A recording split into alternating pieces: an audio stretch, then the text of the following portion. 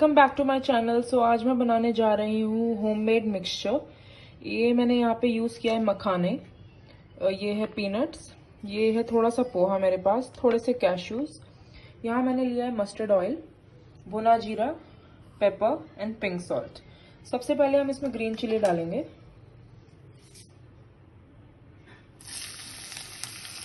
Ingredients मैंने सारे ingredients mix कर दिए हैं। सो गाइज़ आप इसमें घी भी यूज़ कर सकते हो या ऑलिव ऑयल भी यूज़ कर सकते हो।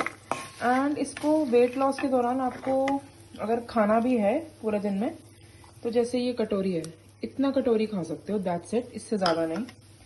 तो अभी मैं इनको अच्छे से स्टर करूँगी। बहुत ही अच्छे से। ये अभी अच्छे से फ्राई होगा स्लो पे। इसको सिम पे at least five to seven minutes हमें फ्राई करना है। उसके बाद हम इसमें अपने बचे हुए स्पाइसेस डालेंगे। जस्ट मिनट अब हम इसको थोड़ी देर के लिए छोड़ देते हैं फ्राई होने के लिए। अब टाइम आ गया है स्पाइसेस डालने का। ये है पेपर एंड सॉल्ट एंड थोड़ा सा भुना जीरा। मेरा फेवरेट इंग्रेडिएंट जो मैं हमेशा ही यूज़ करती हूँ, सारी अपनी वेजिटेबल्स में भी। अच्छे से मिक्स कर लीजिए